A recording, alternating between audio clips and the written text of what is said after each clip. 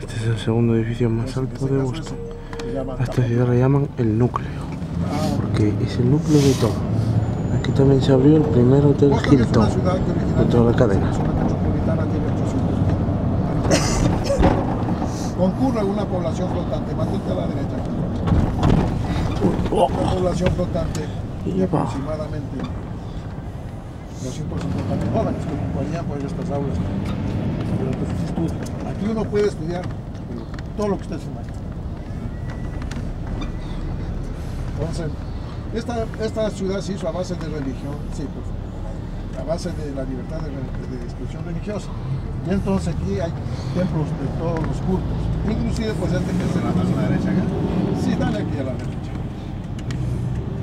Este templo pues pertenece a una religión que surgió en Boston, un culto que se llama la Iglesia del Cristo Científico.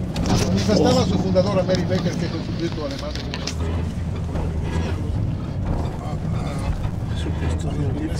y camina sin quitarles ninguno. Entonces ellos no creen ni en las medicinas ni en los médicos. Ellos creen que son metafísicos, que creen que uno puede curarse por sí mismo. Dicen ellos que nosotros somos los causantes de nuestros problemas físicos y mentales.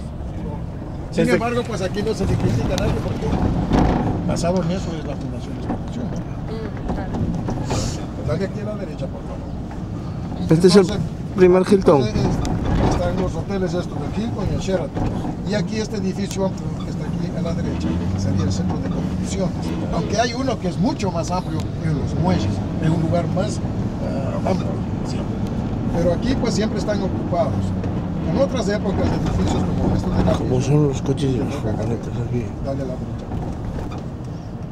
En otras épocas era una clínica, más que todo en la guerra civil, pues venían muchos soldados a atacar. no se quiera.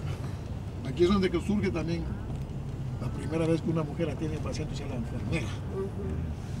Boston es una ciudad de los primeros, me dicen, por el motivo de que muchas cosas eran